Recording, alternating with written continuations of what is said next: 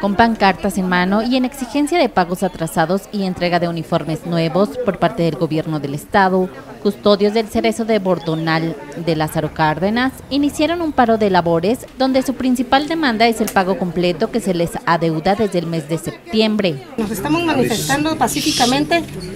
para solicitar que se nos pague el cheque del mes de septiembre, el cual pues por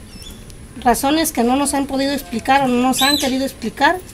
pues no se ha podido llevar a cabo ese pago. Entre otras peticiones de los custodios inconformes están la del pago de compensaciones y viáticos que no se les ha cubierto en su totalidad, así como transporte para trasladarlos a su lugar de trabajo y la entrega de uniformes que desde hace tres años no les han cambiado. Para viáticos porque todos los compañeros que han sido cambiados de centros cerezos a otros lugares no se les paga nada, se mandan exámenes de control y confianza, no se nos paga nada.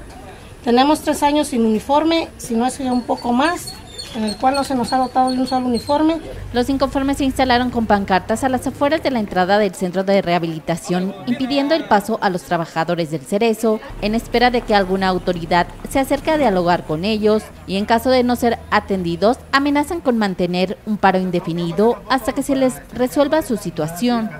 Con información de Oscar Suárez, informa Guasar TV.